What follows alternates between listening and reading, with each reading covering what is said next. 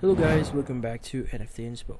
For today's video, here we're going to show you how to fix Paramount Plus error code 3002. So if you're interested, let's start a tutorial. So the best way for you to solve this issue is by performing a power cycle on your devices. Close the Paramount Plus app and power down your streaming device. If applicable, disconnect it from the power outlet. Unplug both your router and modem and wait for a minimum of 3 minutes before plugging them back into in and reconnecting to the internet. Turn on your device and reopen the Paramount Plus app. Now, alternatively, you can also force stop the app to refresh it.